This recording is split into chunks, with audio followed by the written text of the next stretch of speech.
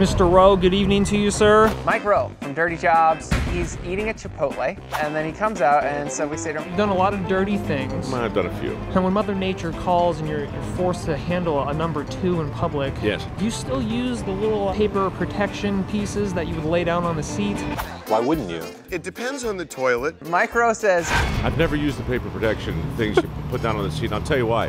Study after study has confirmed the toilet seat is actually the cleanest part of the bathroom. If I had to lick anything in the bathroom, and I don't, but if I did, the toilet seat would be in the top three or four things I would because I believe in science and science is on my side.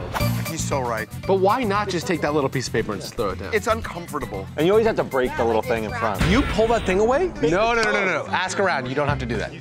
Yes, you do. Oh, I do that. Yeah, He, he just fires a crap through it. It falls right through. You rely on the force of it? It is undefeated, that thing. It falls every single time. It does not. What if you poop in a little nest is just under there? No, you don't have to. yes, you do. My Thanks pleasure. lot. Thanks so much for your time, man. You're welcome.